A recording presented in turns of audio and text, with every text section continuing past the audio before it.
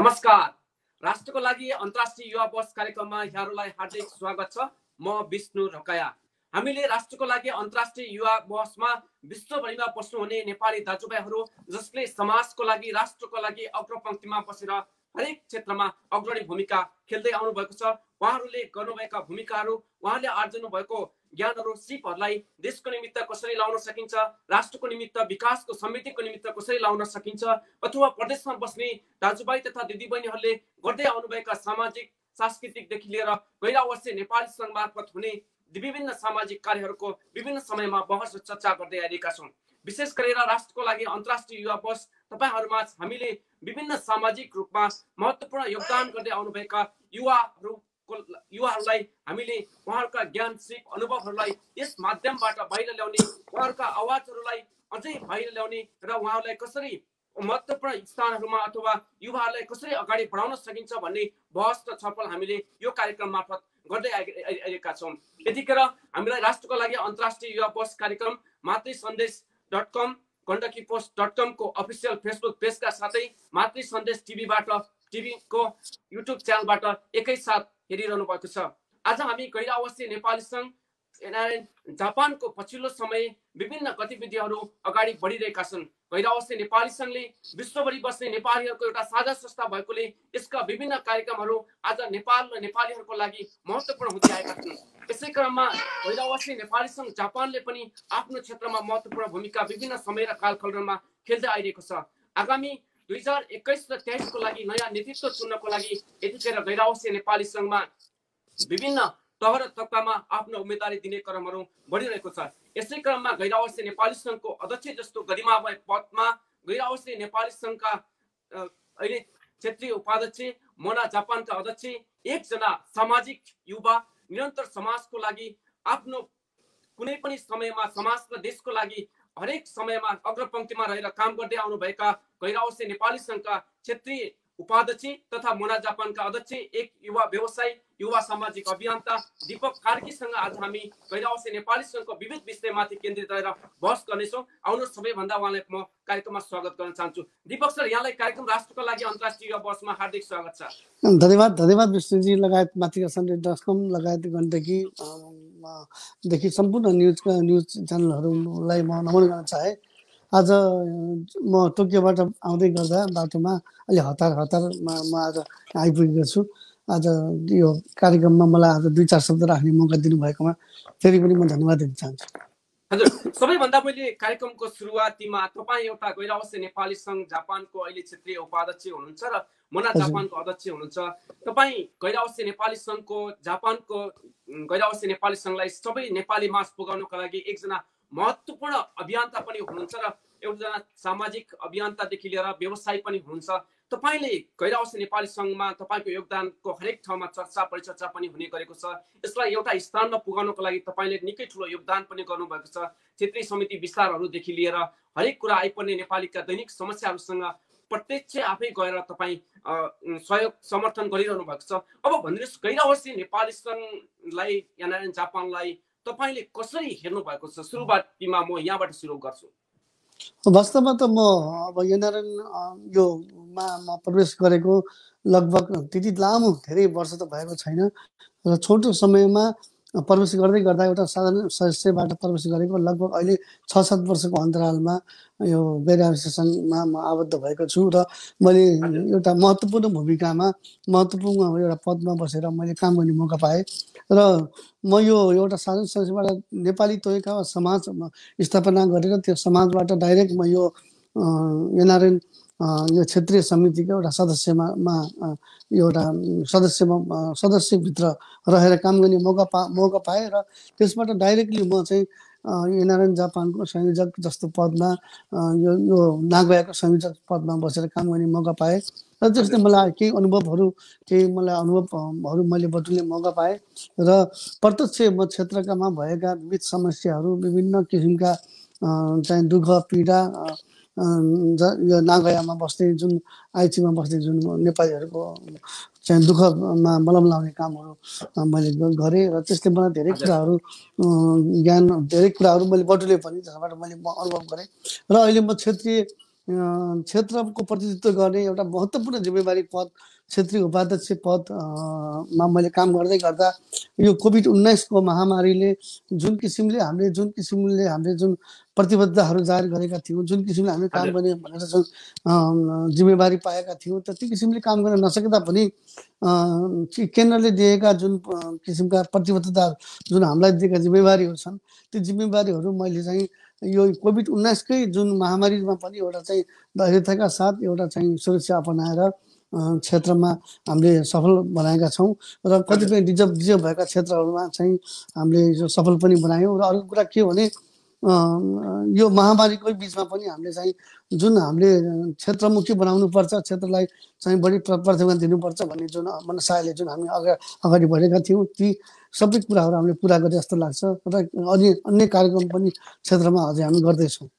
हजुर। सर तपाईँ एकजना गैर आवासीय नेपाली सङ्घ जापानको क्षेत्रीय उपाध्यक्ष हुनुहुन्छ र जापानको यो गैर आवासीय नेपाली सङ्घलाई हरेक नेपाली माझ पुगाउनको लागि अथवा यसलाई अझै साझा संस्था हो भन्ने कुरा एउटा सबैलाई अपनत्व गर्नको लागि महत्त्वपूर्ण भूमिका खेल्नु भएको छ। यसमा चाहिँ सबैलाई जापानवासी नेपाली दाजुभाइ तथा दिदीबहिनीहरूलाई यसमा अवगतै छ। तपाईँले गैर आवासीय नेपाली सङ्घ जापानको अहिले उपा क्षेत्रीय उपाध्यक्ष हुनुहुन्छ र आगामी कार्यकाल दुई हजार एक्काइस र तेइसको लागि अध्यक्षको लागि तपाईँले अनौपचारिक रूपमा भनौँ अहिले चाहिँ अध्यक्षमा उठ्ने घोषणा गरिसक्नु भएको छ यतिखेर।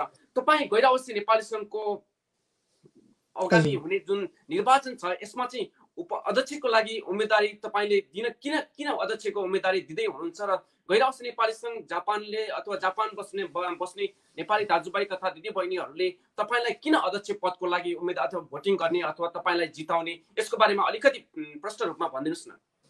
त्यो त अब म अहिले यो जुन जुन मैले अघि भनिसकेँ म क्षेत्रमा जुन क्षेत्रमा जुन किसिमले म यो क्षेत्र विभिन्न एघार बाह्रवटा क्षेत्रमा भित्र मैले काम गर्ने मौका पाएँ ती मौका पाए अनुसार मैले चाहिँ क्षेत्रबाट म प्रतिनिधित्व गर्ने एउटा चाहिँ क्षेत्रीय उपाध्यक्ष भएको नाताले जति सक्दो म चाहिँ केन्द्र र क्षेत्रमा भएर मैले काम गर्ने मौका पाएँ त्यसले त्यसले गर्दा मलाई के एउटा के खालको इनर्जी दिएको छ भन्नुहुन्छ भन्नुहुन्छ भने अब क्षेत्रमा भएका समस्याहरू त मैले सबै बुझेको छु। मैले नजिकबाट निहालेको छु। अर्को कुरा केन्द्रमा भएका समस्याहरू केन्द्र र क्षेत्रको जुन समन्वय हुनुपर्ने कुराहरू छन् त्यसमा पनि मैले गरीब तरिकाले बुझेको हुनाले र मैले प्रत्यक्ष सबै ठाउँमा बसेर मैले चाहिँ दुःख पीडा त्यहाँ समस्याहरू मैले राम्रोसँग बुझेको हुनाले अवश्य पनि म क्षेत्रीय उपाध्यक्ष भइसकेको हुनाले अब अध्यक्षको दावेदारीमा गएर मैले चाहिँ केही सुधारहरू गर्नुपर्ने छ धेरै धेरै मैले चाहिँ अहिले मैले यो म अध्यक्षमा गएर विरोध रूपमा चेन्ज ल्याउन सक्छु विरोध रूपमा मैले परिवर्तन गर्छु गर्छु भनेर पनि हुँदैन।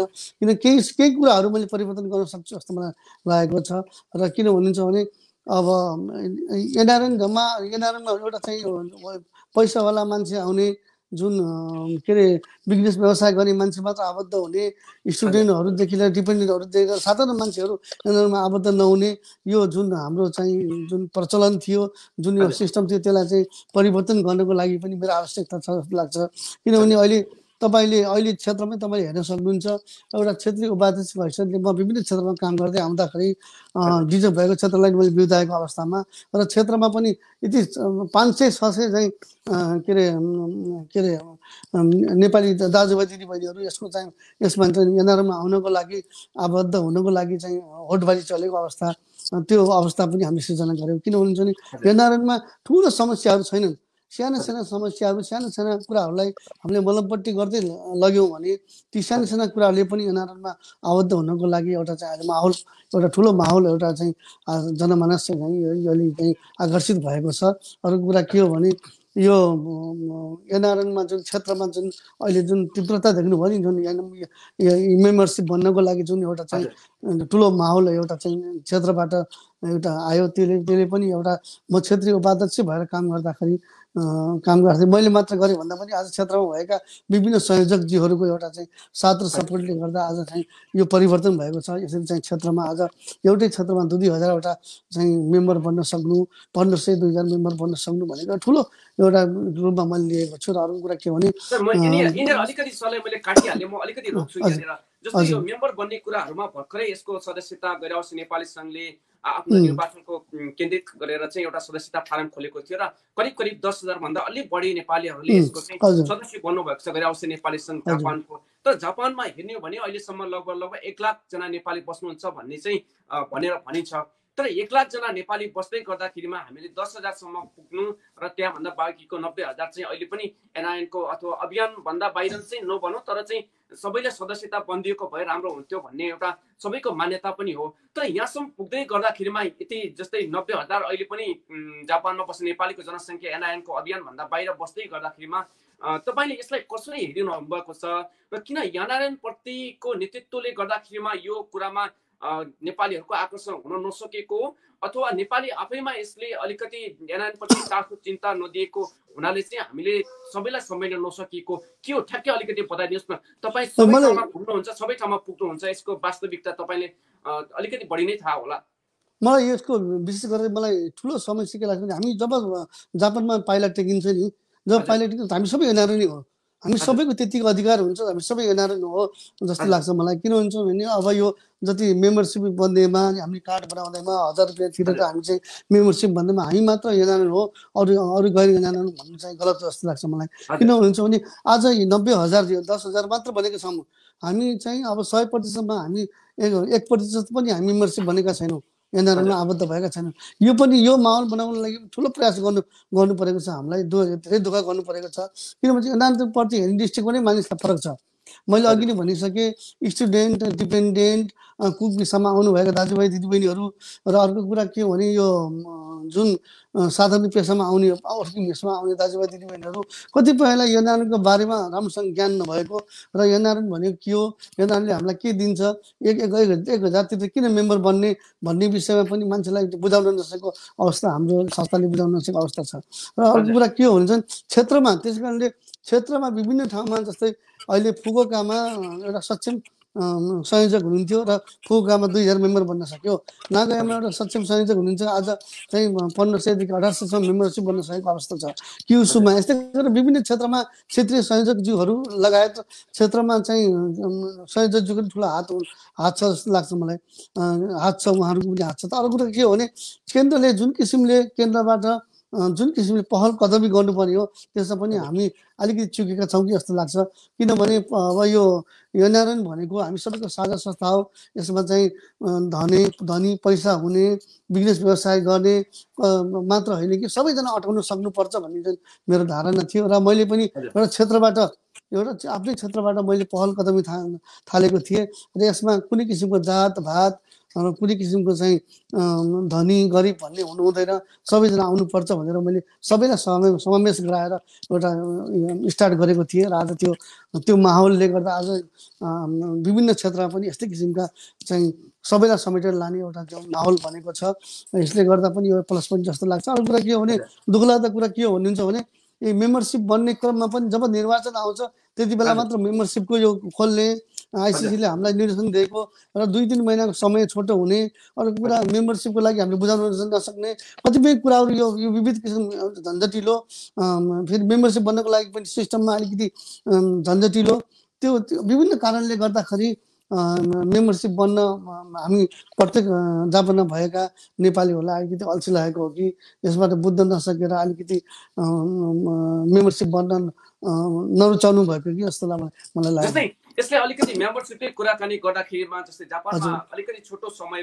चाहिँ एनआरएलले मेम्बरसिप खोलाउने त्यसपछि बन्द गर्ने गरेको कारणले गर्दाखेरिमा सबै नेपालीहरूमा पुग्न पनि सकिन भन्ने पनि धेरै कुरा आउँछ। त्यो मेम्बरसिप भन्ने कुरा चाहिँ जस्तै एउटा एनआरएन संस्था हो एउटा सबैको सामाजिक संस्था भएकोले यो संस्थासँग जोडिन चाहने कुनै पनि व्यक्तिले अथवा एक महिना दुई महिनापछि नेपालबाट आउँदै गर्दाखेरिमा दुई चार महिनापछि उसले मेम्बर आफै यदि मेम्बर बन्न चाह्यो भने मेम्बर बन्न सक्ने प्रावधान हामीले राख्न सक्छौँ कि सक्दैनौँ? किन? यो छोटो समयमा एक दुई महिना मात्रै खोल्न मिल्ने त्यसपछि चाहिँ खोल्न नमिल्ने अथवा यसलाई चाहिँ जहिले पनि बन्न यसको लागि यसको सदस्य बन्न सक्ने चाहने व्यक्तिले चाहिँ जहिले पनि बन्न सक्नुहुन्छ भनेर चाहिँ गर्न सकिने अवस्था छ कि छैन? किनकि तपाईँ पनि अहिले गैरावासी नेपालीसँग एउटा महत्त्वपूर्ण जिम्मेवारी आफै पनि सम्हाल्दै हुनुहुन्छ। हजुर मैले मेरो मेरो मेरो मेरो महत्त्वपूर्ण यो मेरो विचारै हो किन हुन्छ नि मेरो चाहिँ मान्छेले अब हजारौँ प्रतिबद्धताहरू हुन्छन् ती प्रतिबद्धमा मेरो नम्बर वान प्रतिबद्धता चाहिँ नै हुन्छ। किन हुन्छ भने एनआरएन जस एनआरएनमा मेम्बरसिप बन्न चाहन्छ भने चौबिसै घन्टा खुलाउनु पर्छ हामीले।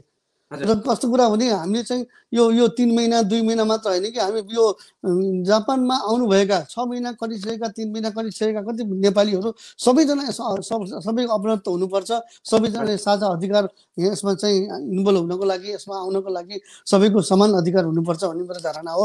र यसमा मैले आवाज उठाइरहेको छु र मैले आवाज उठाउने छु। यदि म यदि यदि म जापानको प्रतिनिधित्व गर्ने जुन यो मैले चाहिँ एउटा प्रतिनिधित्व गर्न मैले पाएँ भने मैले अवश्य पनि यसमा यसको बारेमा आवाज उठाउने छु र यो ने सम्पूर्ण जापानवासी नब्बे हजार एक लाख जापानवासी नेपालीहरू सबैजना यसमा आबद्ध हुनुहुनेछ भन्ने चाहिँ पूर्ण मैले आशा राखेको छु। हजुर। अब म तपाईँको उम्मेदवारीतिर फर्किन चाहन्छु। अलिकति हामीले। यो एनआइएनको मेम्बरसिपको कुराकानी पनि गयौँ अब तपाईँले उम्मेदवारी दर्ता गर्ने अथवा दिने घोषणा चाहिँ गरिसक्नु भएको छ। गइरहेको छ नेपाली सङ्घ भनेको एउटा चाहिँ निकै महत्त्वपूर्ण संस्था पनि हो यसका। जिम्मेवारी लिएर धेरै कुराहरू पनि छन्। दुई देशको सम्बन्धदेखि लिएर नेपाललाई अन्तर्राष्ट्रिय क्षेत्रमा चिनाउने कुराहरूमा तपाईँ आफै पनि निकै महत्त्वपूर्ण भूमिकाहरू खेल्नु भएको छ। विगतका दिनहरूमा पनि हामी सबैलाई सर्वविदितै छ।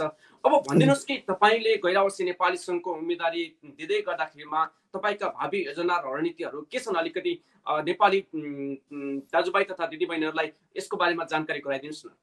अब यो दुई देश बिचको सम्बन्ध प्रगाढ बनाउने दुई देश बिचको स- सम्बन्धलाई सुमधुर बनाउने दुई देश बिचको जुन जुन आपसी जुन कामदारदेखि लिएर हरेक कुरालाई चाहिँ सुमधुर बनाउनु लागि त्यसको लागि त हामी पहल गर्ने कुरा जुन हामीले छँदैछ त्यस त्यो मात्र नभएर मैले यहाँ एकदम सानो सानो समस्या देखेको छु सर। किन हुनुहुन्छ भने। यहाँनिर तपाईँलाई आज यो कोभिड उन्नाइसकै यो महामारीको अवस्थामा तपाईँको हजारौँ स्टुडेन्टहरू हजारौँ विद्यार्थीहरू चाहिँ काम नपाएको अवस्था छ। हजुर। चाहिँ दाजुभाइ दिदीबहिनीहरूले चाहिँ खान बस्न नपाएको अवस्था छ। यी अब जापानमै तपाईँको नेपालको कुरा त छाडिदिन्छु। नेपालमा त अहिले यस्तो स्थिति छ कि दर्दनाक स्थिति छ। हामी दिनहुँ चाहिँ नेपालको बारेमा चिन्ता गरेर बसिरहेको अवस्था छ। र अरू कुरा के हुन्छ भने कुक भिसा डिपेन्डेन्ट भिसामा आएका दाजुभाइ दिदीबहिनीहरू पनि काम पाउनु भएको छैन। जापानकै मान्छे यहाँ नागरिकलाई काम कम भएको अवस्थामा विदेशीले काम पाउन गाह्रो भएको अवस्था छ। सरकारले पनि अनेक खालको प्रयासहरू गरेको छ राहत प्या- प्याकेजहरू दिएका प्रयास गरेको छ। तर हामी गएर आएपछि नेपाली सङ्घ एउटा एउटा चाहिँ जिम्मेवारी एउटा संस्था भएको हुनाले हामीले के गर्ने त? हामी कस्तो किसिमको चाहिँ एउटा चाहिँ नेपालीहरूलाई चाहिँ खुलेर भन्न नसक्ने अवस्था पनि छ। कतिपय कोठामा गुम्सेर बस्नु भएको अवस्था छ। कतिपय कहाँ गएर भन्ने आफ्नो समस्या। हामी नेपालीहरू अलिक के हो भने आफ्नो समस्यालाई खुलेर बताउन चाहँदैनौँ। हामी धेरै सहनशीलता भएको हुनाले सहेर बस्छौँ। हामी खोल्टीमा एक रुपियाँ नहुँदा पनि हामी भोगे दुई तिन दिन भोग खटाएर बस खटाएर पनि बसेका छौँ। र सरसापट नगर्ने ठाउँ स्थिति तपाईँको बसोबास पनि त्यस्तै खालको भएको। आठ दसजना स्टुडेन्टहरू एकै ठाउँमा गुम्सेर बसेको अवस्था। र अस्ति भर्खरै मैले साठीजना स्टुडेन्टहरू एकै ठाउँमा चाहिँ गुम्सेर बसेको अवस्था। त्यसमा चाहिँ उहाँहरूले चाहिँ खान बस्न पनि पैसा नभएको काम पनि नपाउनु भएको अवस्थामा। त्यस्तो अवस्थामा फेला पा कति ठाउँमा फेला पनि पारियो। कति ठाउँमा आफूलाई थाहा भएको ठाउँमा गएर हामीले स्पोर्ट भए हामीले सहयोग पनि गरेका छौँ। र ती मात्र नभएर अहिले चाहिँ विशेष कुरा जापानको जुन यो जाप संसारभरिको जुन यो समस्या कोभिड उन्नाइसको समस्याले गर्दा आज विभिन्न पेसामा काम गर्ने नेपाली दाजुभाइ दिदीबहिनीहरूलाई समस्या परेको छ। यो समस्यामा हामी पहिला सुरुमा यही जापानबाटै जापानमा भएका नेपालीहरूलाई बलमपट्टि लाउने काम र उनीहरूलाई उनीहरूलाई चाहिँ हामी चाहिँ के सहयोग गर्ने काम गर्नुपर्छ जस्तो लाग्छ। र नेपालको कुरा र यो कोर्डिनेसन गर्ने कुरामा त अब त्यो मेरा प्रतिबद्धताहरू आउँदैछन्। मैले पनि अब मैले दस मान्न बिस मान्न प्रतिबद्धताहरू झुटी झुटा प्रतिबद्धताहरू जति पनि लेख्न सक्छु जति पनि भन्न सक्छु तर त्यो पूर्ण हुन सक्ला नि नसक्ला आफ्नो ठाउँमा छ। म एउटा म एउटा यन्त्रमा आबद्ध नहुँदा पनि म प्रत्यक्ष अप्रत्यक्ष रूपमा मैले चाहिँ समाजसेवा निरन्तर गरिरहेको हुनाले मलाई त्यो समाजसेवामा यदि हामीले चाहिँ झुटा कुराहरू बोलेर भोलि मैले आज तपाईँको अगाडि मैले दुई वर्षको कार्यकालको लागि मैले हजारौँ कुराहरू झुटा बोलाउँला भोलि ती कुरा पुरा हुन नसक्लान् त्यसले पनि भोलि अर्को एउटा चाहिँ नराम्रो एउटा चाहिँ दिपक कार्की एउटा चाहिँ झुटा बोल्ने मान्छे हो र झुटा कुराहरू उसले चाहिँ ल्याउँछ भन्ने खालको कुराहरू पनि आउलान् तर एउटा चाहिँ हामी एनआरएनमा राम्रो टिम राम्रो एउटा चाहिँ ग्रुप एउटा राम्रो समूह मिलेर जान्छ र त्यसले सम्पूर्ण एक लाख नेपालीहरूलाई प्रतिनिधित्व गर्ने एउटा चाहिँ विचार एउटा चाहिँ नीति बनाएर अगाडि बढ्छ ब- बढ्नेछ भन्ने जुन मैले आशा राखेको छु। र यदि मभन्दा एकदम क्यापेबल मभन्दा सक्षम मभन्दा चाहिँ समाजमा तीव्र रूपमा अगाडि बढेको निस्वार्थ भावनाले लाग्ने कुनै खालको साथीहरू आउनुहुन्छ भने म दुई कदम पठाइ पठाइ सरेर मैले उहाँहरूलाई सपोर्ट गर्नुपर्ने अवस्था पनि आउन सक्छ। आज तपाईँको जापानमा जापानमै तपाईँको जापान जस्तो विकसित कन्ट्रीमा हजारौँ मान्छेहरू मैले दुःख पीडामा समस्यामा कतिपय हस्पिटलमा लड्नु भएको छ। म म मेरो चाहिँ चौबिसै घन्टामा मेरो चाहिँ आठ नौ घन्टा त म हस्पिटल र म चाहिँ यही बाटोमा दौडिराखेको दौडिरहेको अवस्था हो। आज मैले चाहिँ तपाईँको इन्टरभ्यूमा आउँदा पनि मैले आज कपडा चेन्ज गर्ने मौका पनि पाइनँ। एक एक पानी खाने मौका पनि पाएको छैन। किनभने चाहिँ म निस्वार्थ भावनाले गरिब असहाय र यी समाजको लागि लडेको मान्छे हो लड्ने छु र सधैँभरि मैले पदमा हुँदा नहुँदा पनि मेरो चाहिँ निरन्तर मेरो अभियान चलिरहनेछ भन्ने जुन म प्रतिबद्धता दिन चाहन्छु र मेरो प्रतिबद्धताहरू बनाउने जुन एनआरएनलाई चाहिँ कस्तो खालको बनाउने भन्ने स्मार्ट एनआरएन कस्तो खालको हुन्छ र कस्तो खालको बनाउनु पर्छ भन्ने जुन मेरो नीति मैले बनाउँदै बनाएको छु र एउटा चाहिँ त्यसमा चाहिँ एउटा सक्षम कार्य समिति एउटा सबैको एउटै सबैलाई उपलब्ध हुने एउटा चाहिँ एनआरएन बनाउनको लागि मेरो कदम सधैँभरि अगाडि हुनेछ। विष्णुजी। अब अलिकति जस्तै कुनै पनि चुनावको कुरा गर्दाखेरिमा त्यो राजनैतिक होस् अथवा सामाजिक होस् नेपाली सङ्घ एउटा विशुद्ध सामाजिक संस्था भएको हुनाले यसलाई चाहिँ। हामीले सबै कुनै पनि बात र संस्था अथवा पार्टीभन्दा माथि बसेर चाहिँ हेर्नुपर्छ भनेर भनिन्छ। तर चाहिँ गैरावासी नेपाली सङ्घमा जस्तै अब नेतृत्व दिँदाखेरिमा होस् अथवा यसमा चाहिँ उम्मेदवारी दिँदै गर्दाखेरिमा विभिन्न प्रतिबद्धताहरू आउँछन् तर सबैको राम्रै देखिन्छ। तर यो नेतृत्व गर्दाखेरिमा नेतृत्व गर्दै गर्दाखेरिमा जुन पहिला बनाएको छवि हुन्छ नेतृत्वमा गइसकेपछि यसलाई कायम राख्न नसकेका धेरै घटनाक्रमहरू छन्। दीपक कार्कीले भोलि गैरावासी नेपाली सङ्घ जापानको अध्यक्ष तपाईँ उम्मेदवारी दिँदै हुनुहुन्छ हुनुहोला नहुनुहोला तर चाहिँ यदि तपाईँ हुनुभयो भने तपाईँले आफूले गर्दै रहेको यो अहिलेको काम र आफ्नो छविलाई कायम राख्न सक्छु भन्ने तपाईँसँग त्यो विश्वास छ तपाईँसँग? सबभन्दा ठुलो कुरो त विष्णुजी एउटा हजुर उयो समाज सेवा गर्नको लागि सबभन्दा ठुलो इमान्दारी त चाहियो आत्मविश्वास चाहियो। तपाईँ म आफूले आफूलाई म विश्वास गर्न सक्नु पर्यो। म र आत्मविश्वास पनि हुनु पर्यो इमान्दारिता पनि हुनु पर्यो। जबसम्म। हामीमा इमान्दारिता छैन तबसम्म हामी कुनै काम गर्न सक्दैनौँ जस्तो लाग्छ। एउटा कुरा के हो भने समाज समाज त्यत्तिकै हुँदैन। समाज बनाउनको लागि सबैको सहयोग चाहिन्छ। सबै। चाहिँ अभिभावक यहाँ जापानमा बसेका अभिभावक त निर्वाह गरेका तपाईँको एक सय दुई सयवटा सङ्घ संस्थाहरू छन्। ती सङ्घ। संस्थाहरूसँग कस्तो खालको कोर्डिनेसन हामीले गर्ने? अर्को कुरा के हो भने जापानमा मैले अघि हजुरलाई बारम्बार भनेको छु ठुला ठुला समस्याहरू छैनन्। यहाँनिर हामीले प्रत्येक दिन चन्दा डोनेसन र राहत उठाउनु परेको छ। यो मेन यो नै गलत हो जस्तो लाग्छ मलाई किनभने चाहिँ रात दिन मैले चाहिँ आज म एउटा व्यक्तिले पनि दसवटामा चन्दा डोनेसन दिनुपर्छ। किन आफू पनि बाँच्नु परेको छ चन्दा डोनेसन पनि दिनु परेको छ। यसलाई चाहिँ हटाउनु पर्यो हटाउनको लागि एनआरएन जस्तो एउटा चाहिँ अभिभावक संस्थाले एउटा अहम भूमिका खेल्नुपर्छ जस्तो लाग्छ। मेरो एउटा मैले अहिले तपाईँले तपाईँका के के छन् त भन्- भन्नु भनेर भन्नु सोध सोध्नुभयो। अघि विष्णुजीले मैले चाहिँ के भन्न चाहन्छु भने ठुलो ठुलो समस्याहरू सानो सानो समस्यालाई समाधान गर्नको लागि मैले प्रत्येक एक लाख नेपालीहरूले ह्याको नि ह्याको जम्मा गरेर गऱ्यो भने पनि हामीले चाहिँ करोडौँ जम्मा गर्नु पर्दैन। ह्याको नि ह्याको जम्मा गरे पनि करोडौँ पैसा हुन्छ। त्यो करोडौँ पैसा त्यो त्यो पैसाले नै तपाईँको चाहिँ जापानमा भएका दिनमा चार पाँचजना बिरामी हुन्छन् कतिपय रोगी हुन्छन् तिनीहरूको तिनीहरूलाई चाहिँ हामीले तिनीहरूलाई हामीले सहयोग गर्न सकिन्छ। अर्को कुरा देशको लागि पनि त भन्यो भने खास हामीले चाह्यो भने पाँच सय महिनाको पाँच सय कलेक्सन गर्न सक्यो भने कुनै खालको एउटा चाहिँ प्रोग्रामहरू कुनै खालको अभियान चलाउन चलाउन सक्यो भने त्यसले पनि हामीलाई चाहिँ एउटा प्लस पोइन्ट दिन्छ। जापानिजहरू डोनेसन गर्नको लागि चन्दा डोनेसन गर्नको लागि यति धेरै चाहिँ तत्पर हुन्छन् कि तर त्यसलाई हामीले बुझाउन नसकेको अवस्था पनि छ देशमा हामीले चाहिँ यहाँ दुःख गरेर एक दुई पैसा जम्मा गरेको जुन आर्थिक छ संस्थाले जम्मा गरेको पैसा छ त्यो चाहिँ हामीले सिधै सरकारलाई लिएर बुझाउने जुन हाम्रो चलन छ त्यसले पनि। अलिकति असर पारेको छ यहाँनिर गरिआवासी सङ्घले चाहिँ के गर्नुपर्छ भन्नुहुन्छ भने सरकारलाई लिएर बुझाउने होइन कि सरकारसँग समन्वय गरेर आफै ती पीडित ठाउँमा जुन चाहिँ दुर्घटना घटेका ठाउँमा जुन पीडित ठाउँमा हामीले आफै चाहिँ गर्न सक्यो भने दिन सक्यो भने त्यो चाहिँ त्यो चाहिँ देखिन्छ अनि जनमानसमा देखिन्छ जस्तो देखि देखिन्छ पनि र पीडितले त्यो क्षतिपूर्ति पनि पाउँछ जस्तो लाग्छ मलाई किनभने अहिले चाहिँ हामी चाहिँ खालि चन्दा डोनेसौँ डोनेसन उठाउँछौँ खालि सरकारलाई बुझाउँछौँ र कहाँ गयो कता गयो त्यो देखिँदैन।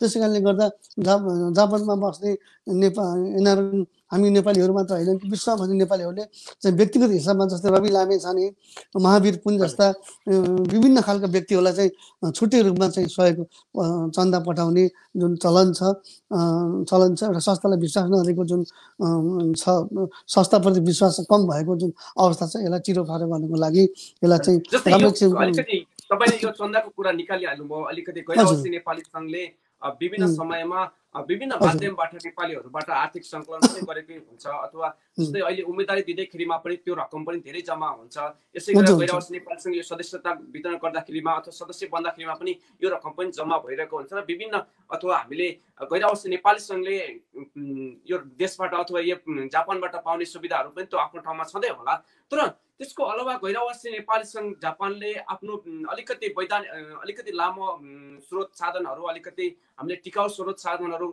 खोज्नुभन्दा सोच्नुभन्दा पनि अलिकति चन्दामै बढी चाहिँ ध्यान केन्द्रित भएको अथवा यद्यपि यसलाई चन्दा भन्दा पनि यसलाई अन्यथा पनि नलियो हामीले आवश्यक पर्दाखेरिमा नेपालले गर्न चाहेको बेला देशलाई परेको बेला यो गर्नु पनि पर्छ। तर अलिकति दीर्घकालीन साधन स्रोतले अलिकति सजिलो हुने आइपर्दाखेरिमा ठ्याक्कै हामीले सजिलै कुनै ठाउँमा काम गर्न सकिने वातावरणको एउटा कोष जम्मा गर्न सक्ने खडा गर्न सक्ने अवस्था छ कि छैन? किनकि गैरावासी नेपाली सङ्घले आर्थिक रूपमा अलिकति अपारदर्शी पनि भयो। यसले गर्दाखेरिमा जस्तै हाम्रो पैसा कहाँ जान्छ के हुन्छ भन्ने कुरा कसैलाई थाहा पनि छैन के पनि छैन। यो आवाजहरू अलिकति बढी उठेर आएको बेला आइरहेको छ। यो पारदर्शिताको दृष्टिकोणले र अलिकति दूरगामी रूपमा चाहिँ केही काम गर्न सक्ने साधन स्रोत जुटाउन सकिने सम्भावना तपाईँले के देख्नुहुन्छ? अलिकति यहाँभित्र लामो समयदेखि काम पनि गर्दै हुनुहुन्छ आफै। यसको बारेमा अलिकति ठ्याक्कै प्रष्ट रूपमा बताइदिनु होला। विष्णुजी म यो एनआरएन जापान मात्र नभएर एउटा म्या- म्याग्दीबाट जापान जस्तो म संस्थामा मैले काम गरेको छु। त्यसमा म अध्यक्ष पदमा छु र म विभिन्न सङ्घ संस्थासँग आबद्ध छु र लगभग दुई सयवटा सङ्घ संस्था बराबर सङ्घ संस्थाहरू छन् र कतिपय। एक्टिभ छन् कतिपय एक्टिभ छैनन् त्यो आफ्नो ठाउँमा छ होइन र यहाँ। मैले सरस्वती हेर्दा केही एउटा एउटा संस्थाहरूले सामान्य संस्थाहरूले पनि चाहिँ करोडौँ पैसाहरू जम्मा गरेको कोषमा जम्मा गरेको मैले देखेको छु किनभने यो दिनहुँ पैसा उठाउने हामी जस्तो जिम्मेवारी संस्था एउटा चाहिँ म म संस्थाले दिनहुँ पैसा उठाउने दिनहुँ चन्दा उठाउने हाम्रो काम होइन जस्तो लाग्छ मलाई अब अर्को कुरा के भनिन्छ भने अब मैले अब यो आज बोल्नै पर्छ एमबिसीले पनि हामी यिनीहरूलाई नै के अरे अम, अनुगाई गर्ने रिक्वेस्ट गर्ने अर्को कुरा हामीले पनि अब सधैँभरि यही सङ्घ संस्थाहरूलाई सधैँभरि जापानमा बसेका मान्छेलाई प्रत्येक दिन चन्दा उठाउने जुन काम छ त्यसलाई चाहिँ बन्द गर्नु पर्छ जस्तो लाग्छ मलाई। किन हुन्छ भने एउटा कोष खडा गरौँ हामी एउटा सामान्य संस्थाले तपाईँको करोडौँ पैसा जम्मा गर्न सक्छ भने हामी एनआरएन जुन जापानभरिको चाहिँ सङ्घ संस्थालाई आबद्ध के अरे अभिव्यक्त गर्ने संस्थाले किन सकिँदैन जस्तो लाग्छ? मेरो चाहिँ मेरो नम्बर वानमा मेरो त्यही नै हो किनकि हामी एउटा कोष खडा गरौँ। धेरै पैसा नउठाउँ। एकचोटि वर्षमा एकचोटि उठाउँ र त्यसले एउटा कोष खडा गरौँ र त्यो कोषबाट हामी हामी चल्न सकिन्छ जस्तो लाग्छ। र अर्को कुरा के हो भने नेपालमा अहिले मैले हजुरलाई भनिसकेँ अभियन्ताहरू धेरै छन्। र व्यक्तिगत रूपमा चाहिँ जापानमा भएका एउटा चाहिँ माउ संस्थालाई डोनेसन नगरेर माउ संस्थामा आबद्ध नभइकन डाइरेक्टली नेपालमा चन्दा डोनेसन गर्ने जुन काम छ त्यसले पनि एउटा चाहिँ हामीलाई हामी ए साँच्चै एनआरएनप्रति विश्वास नभएको हो कि हामी माउ संस्था चाहिँ दृष्टिकोण फरक भएको हो कि भन्ने जुन हामीलाई चाहिँ एउटा दुःख लागेको छ त्यसले पनि त्यसलाई परिवर्तन गर्नको लागि पनि एउटा राम्रो कोष खडा गर्नुपर्छ जस्तो मलाई लागेको छ। हजुर ठिकै छ। अलिकति मैले यहाँनिर तपाईँ प्रश्न सोधेको चाहिँ अलिकति गैरावासी नेपाली सङ्घ अलिकति अपारदर्शी भयो भन्ने कुरा त्यो- विषयमा- त्यो विषयमा म बोलेँ। यसको बारेमा चाहिँ बताइदिनुहोस् न। यो चाहिँ एकदम एकदम तपाईँको यो पहिला चाहिँ पहिलेदेखि त्यो आइरहेको कुरा हो। जब निर्वाचन आउँछ जब यो चुनाव सुरु हुन्छ अभियान सुरु हुन्छ तब चाहिँ यो पारदर्शीका कुराहरू यो चाहिँ यो लेनदेनका कुराहरू धेरै आएको सुन्नमा आयो होइन? अस्ति भर्खर तपाईँले पनि पत्रकार जो सबैले सुन्नुभएकै छ यो हाम्रो जुन फुकुकादेखि यो केन्द्रको जुन कार्यक्रममा यो छानबिन समितिका कुराहरू आए छानबिन समितिले गरेका कुराहरू पनि अहिलेसम्म कहाँसम्म पुगेका छन् ती कुराहरूलाई पनि हामीले बारम्बार आवाज उठाइरहेका छौँ। किन भनिन्छ भने कुनै पनि संस्थामा एउटा पारदर्शिता हुनुपर्छ हामीले चाहिँ के गर्नुपर्छ भने हामीले प्रत्येक तिन तिन महिनामा दुई दुई महिनामा पाँच पाँच महिनामा हामीले क्षेत्र केन्द्रमा भएका जुन कोषमा भएको आर्थिक यति यति रकम हाम्रो संस्थामा छ यति पैसा हामीले यहाँ डोनेसन गऱ्यौँ यति पैसा हाम्रो संस्थामा जम्मा बस्छ भनेर चाहिँ दिन नसकेको अवस्थाले गर्दा आज प्रत्येक नेपालीले औँला उठा औँला उठाएको अवस्था छ उनीहरूलाई औँला उठाएको अवस्था छ। अरू कुरा के भने जुन पहिल्यैदेखि चाहिँ रहेको जुन कोषमा भएका पैसाहरू कता गए कुन ठाउँमा गए कति कसरी प्रयोग गरियो भन्ने कुरामा पनि प्रश्न नभएको हुँदा यसले यसको बारेमा चाहिँ हाम्रो अब हाम्रै हाम्रै एनआरएन जापानको अहिलेकै हाम्रो प्रवक्ता सिद्धार्थ श्रेष्ठज्यू लगायत हामी लगायतले चाहिँ आवाज उठाएर चाहिँ अब आइन्दा यिनीहरूमा चाहिँ यो यो किसिमको जुन आरोप आएको छ यो आरोपलाई मेटाउनको लागि एउटा चाहिँ छानबिन समिति बन्नुपर्छ भन्ने आवाज उठाएँ एउटा छानबिन समिति बनेको छ र छानबिन समितिले कहाँसम्म काम गरेको छ कहाँसम्म पुगेको छ भनेर अझै पनि हामी अन्यलमा छौँ र एउटा क्षेत्रको निर्वाचन हुनुभन्दा अगाडि क्षेत्रको अधिवेशन हुनुभन्दा पहिला त्यो यो हाम्रो जुन यो छानबिन समिति तयार भएर अगाडि बढ्नुपर्ने थियो र त्यो प्रष्ट रूपमा बाहिर आउनुपर्ने थियो त नआएको अवस्थाले गर्दा अझै पनि जापानवासी सम्पूर्ण नेपालीहरूलाई निराशा बनाएको छ। र अर्को कुरा के हुनुहुन्छ भने यहाँनिर संस्थामा पनि एउटा गुट उपगुट यो चाहिँ यो पार्टी ले यो त्यसले गर्दाखेरि अलिकति यो यो कुनै पनि कुरामा प्रष्ट रूपमा चाहिँ काम गर्न नसकेको अवस्था एउटा राम्रो भिजन लिएर आउने मान्छेले पनि काम गर्न नसक्ने अवस्था भएको अवस्था छ र यसलाई चाहिँ चिरोफारो गर्नुपर्छ एउटा यो एनआरएन भनेको स्वच्छ सफा एउटा एनआरएन बनाउनुपर्छ भन्ने अभियान हाम्रो छ अहिले केही साथीहरू केन्द्र क्षेत्रदेखि केन्द्रसम्म भएका साथीहरू एकदम निस्वार्थ भावले लाग्नु भएको छ र अहिलेको यो। टिमले एकदम सशक्त रूपमा काम गर्नेछ र अन्तिमसम्म पनि यो छानबिनका कुराहरूलाई यो आर्थिक अनियमितताको कुराहरूलाई अगाडि बढाउने छ र यसमा चाहिँ कुनै पनि कसर बाँकी छाड्ने छैन भन्न चाहन्छु र यसमा म पनि एकदम अ- अ- अझै कटिबद्ध भएर यसमा चाहिँ अगाडि बढेको अवस्था हो। आदरणीय दर्शकबिन आज हामी राष्ट्रको लागि अन्तर्राष्ट्रिय युवा बसमा गैरावश्य नेपाली सङ्घका क्षेत्रीय उपाध्यक्ष तथा मोना जापानका अध्यक्ष दीपक कार्कीसँग आगामी गैरावश्य नेपाली सङ्घ दुई हजार एक्काइस तेइसमा हुने चुनाव गैरावश्य नेपाली सङ्घमा अहिलेको आवश्यकता अथवा गैरावश्य नेपाली सङ्घले गर्दै आएका कामहरू र भोलि गर्नुपर्ने कामहरू र यसका विविध पक्षबारे विशेष छलफल गरिरहेका छौँ यतिखेर हामीलाई Matri Sandesh dot कमको official Facebook page Gandaki post dot कमको official Facebook page र मातृ सन्देश टिभी युट्युब च्यानल मार्फत एकैसाथ हेरिरहनु भएको छ। अब दिपक सर अलिकति हामी यसको अलिकति निचोडतिर जाउँ अन्तिम अन्तिममा।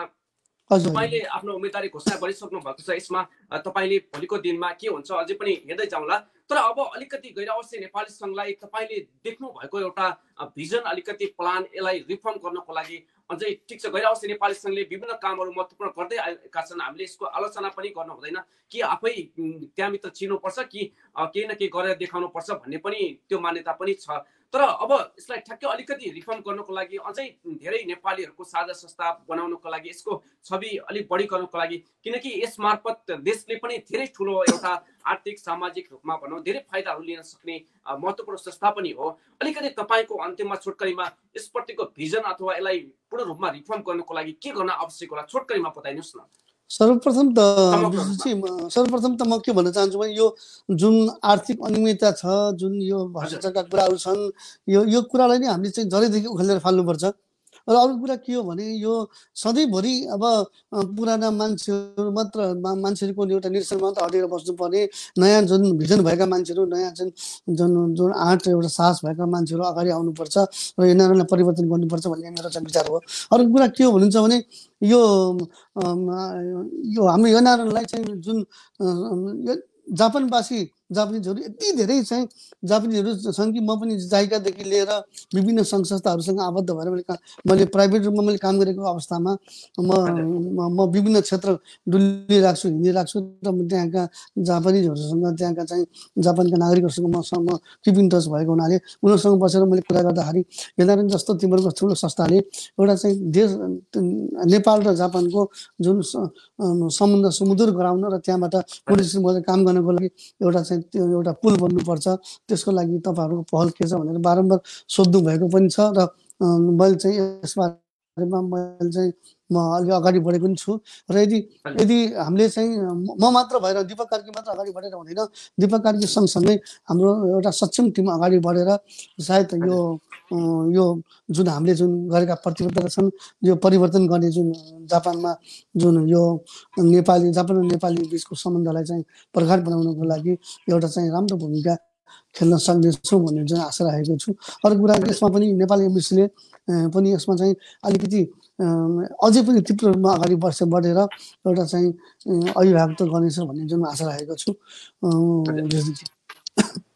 अब हामी अलिकति अन्तिम अन्तिममा पनि छौँ कार्यक्रमको हजुर। नेपाली सङ्घले पछिल्लो समय विश्वव्यापी एउटा महामारीको रूपमा फैलिएको कोरोनाको विरुद्धमा भनौँ अथवा यसको लागि आवश्यक पर्ने सहयोगहरू देशदेखि प्रदेशसम्म गरि पनि रहेको छ। तर पछिल्लो समय नेपालमा कोरोनाको अवस्था चाहिँ निकै भयावह छ। यसको फैलावटदेखि लिएर मृत्यु हुने दर चाहिँ विश्वमै पहिलो नम्बरमा पुगेको छ। यतिखेर नेपाल हामीलाई यतिखेर स्वास्थ्यका सामग्रीहरू धेरै अभाव पनि छ तर गैरावासी नेपाली सङ्घले धेरै कामहरू गरिरहेको पनि भएको छ। तर गैरावासी नेपाली सङ्घ जापानले यतिखेर देशलाई परेको सङ्कट अथवा दुःखको घडीमा चाहिँ आफ्नो तर्फबाट गर्न सकिने कामहरूमा के गर्दै हुन्छ तपाईँहरू? यसको बारेमा अलिकति जानकारी गराइदिनुहोस् न। र यो अभियान एउटा चलाएको पनि छ गैरावासी नेपाली सङ्घले। यसमा कसरी नेपालीहरूले जोडिन सक्नुहुन्छ? यसको बारेमा अलिकति विस्तृत जानकारी गराइदिनुहोस् न। हजुर धन्यवाद। एकदम महत्त्वपूर्ण कुरा सोध्नुभयो विष्णुजी किनभने अहिले एकदम मलाई चाहिँ यो इन्टरभ्यूमा आउनुभन्दा पनि पहिला मलाई एकदम दुःखी लागेको छ। बेलुका बिहान म समाचार हेर्छु नेपालको न्युज हेर्छु बाटोमा पल्टिरहेका मान्छेहरू रुखको मुनि पल्टिरहेको मान्छेहरू एउटा सिलिन्डर बोकेर दौडिरहेको अवस्थामा आज आफ्नो देशमा यो किसिमको पीडा दुःख देख्दाखेरि मेरो मन रोइरहेको छ। अरू कुरा के हुन्छ नि यो सबै विभिन्न विभिन्न देशबाट चाहिँ यिनीहरूले अभियान थालेको छ त्यो आफ्नो ठाउँमा छ र जापानले पनि एउटा चाहिँ हामी हामी चन्दा हामी व्यक्तिगत हिसाबमा पैसा उठाएर हुन्छ कि हामी विभिन्न क्षेत्रका सहयोगजीहरूबाट जापान बसेका जुन विभिन्न सङ्घ संस्थाहरूलाई आह्वान गरेर हामीले चाहिँ यो पहल थालेका छौँ एउटा अभियान थालेका छौँ। अभियानमा सम्पूर्ण नेपाली जापान बस् जापानमा बस्ने नेपाली दाजुभाइ दिदीबहिनीहरू यसमा आबद्ध हुन सक्नुहुनेछ। र एउटा कुरा के भने मैले म आफै प्राइभेट पनि आज नौवटा संस्थामा र आठ नौ ठाउँमा मैले चाहिँ डोनेसन गर्दाखेरि मेरो चाहिँ चार पाँच लाख त मेरो गइसकेको रहेछ हिजो मात्र हिजोसम्म मात्र। र अहिले अहिले पनि म चाहिँ अझै पनि मैले चाहिँ विभिन्न किसिमका सङ्घ संस्थाहरूले आफ्नो प्राइभेट रूपमा पनि अभियान थाल थाल्नु भएको छ। त्यहाँ पनि म चाहिँ दुई चार पैसा बोलेको छु र आज कारण जापानले पनि यो थालेको हुँदा यिनीहरूले जापानले थालेको जुन अभियानमा सम्पूर्ण क्षेत्रमा भएका संयोजकजीहरूदेखि लिएर सम्पूर्ण जापानमा बस्ने सङ्घ संस्थाहरू सङ्घ संस्थाहरू र जापान बस्ने नेपाली दाजुभाइ दिदीबहिनीहरूलाई फेरि पनि यो जुन नेपालमा दुखेको अवस्थामा यो मान्छे बचाउ अभियानमा सम्पूर्ण दाजुभाइ दिदीबहिनी सहभागी भएर हातमा हात मिलाएर आत्मसात गरेर यसमा चाहिँ सहयोग गरिदिनुहुन्छ भन्ने पुनः आशा राखेको छु। र हामीले चाहिँ तपाईँको फेसबुक ट्विटर आदि विभिन्न ठाउँबाट हामी चाहिँ यो त्यहाँ खाता नम्बरहरू हेर्दा जापानको खाता नम्बर पनि हामीले राखेका छौँ र त्यसमा विभिन्न क्षेत्रसँग समन्वयन गरेर तपाईँले डोनेसन गर्न पनि सक्नुहुन्छ र अरू कुरा के भने सिधै हामीलाई फोन गरेर हामीसँग सम्पर्क गरेर डोनेसन गर्न पनि सक्नुहुन्छ। यदि तपाईँले दिएका ती थपा थपा एक एक पैसालाई हामी चाहिँ नेपालमा पुर्याउने छौँ र नेपालमा जुन एउटा चाहिँ मान्छे बचाउ जुन अभियान छ यो अभियानमा हामी चाहिँ निस्वार्थ भावनाले हामी चाहिँ अगाडि बढ्नेछौँ भन्न चाहन्छु। दिपक सर अब हामी कार्यक्रमको अन्तिम अन्तिममा पनि आएका छौँ। आज हामीले विशेष गरेर गैरावासी नेपाली सङ्घ आगामी दुई हजार एक्काइस तेइसको लागि हुने निर्वाचनमा तपाईँको अध्यक्षको उम्मेदवारीका विषयमा र गैरावासी नेपाली सङ्घले गर्दै आएका कामहरू र हिजोदेखि गरेका कामहरू र भोलि गर्नुपर्ने कामहरूको बारेमा विशेष छलफल गऱ्यौँ। अन्तिममा तपाईँ आगामी एनआइएनको हुने निर्वाचनमा तपाईँले अध्यक्षको उम्मेदवारी दिइसक्नु घोषणा गरिसक्नु भएको छ। यसको लागि तपाईँले अन्तिममा जापानमा बस्ने नेपाली दाजुभाइ तथा दिदीबहिनीहरूलाई केही भन्न चाहनुहुन्छ? अब यो अब अबको यो परीक्षा लिने मूल्याङ्कन मूल्याङ्कन गर्ने कुरा सम्पूर्ण जापानमा बस्ने नेपाली दाजुभाइ दिदीबहिनीको हातमा छ।